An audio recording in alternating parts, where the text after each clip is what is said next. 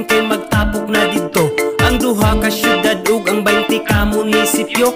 Imbitado ang tanan bisan pa man ug mga dayo. Kaamulan festival reunion sa mga tribo. Seven tribes ang nagmugna aning among lalawigan. Kalipay pa naghiusa makita sa kaamulan. Talaan dighiga unon bukid nun ug umayam nun. Matigsalog manubo ug ang tigwahanon. Sila ang nagrepresenta sa atong buhing kultura. Kinaiyahan di ampingan kay mauy langit ng gasa Baga nga lasang sa mga habog nga kabukiran. Mga awit sa langgam ang musika sa kalasangan. Halapad nga kapatagan nga puno sa pananom. Bisag wala midagat diri na ay suba nga lawom. Bukid nun ikaw nagtaga among panginahanglan. Pasalamat pahalipay. Amo akang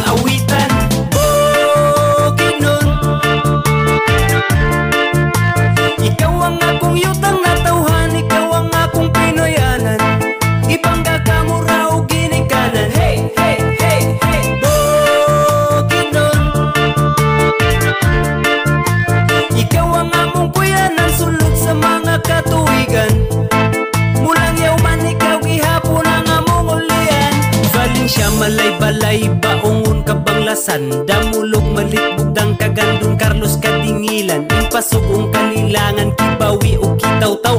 Lantapan kisulibo na maramag ug sumilaw. Manulo Fortich talakag pangantukan San Fernando. Mauna among lugar, lugar sa pito ka tribo Lain-laing patakaran, lain-lain magprinsipyo. Magpuyo nga malinawon, mao ang among motibo. Wala kay ikabalaka kay kami mahigalaon Naakas sa bukid nun. Kung tito sa mga prutas o tanon ug lagot mon Naapoy presko nga gata sa baka kapatutuyon mo adto tas kakahuyan mangita taog dugos. Kabugnaw ba sa hangin sa uyab lami igakos? Kung gusto pa ka malingaw na ay daghang kasuruyan. Kung gusto ka og adventure amua ka kuyugan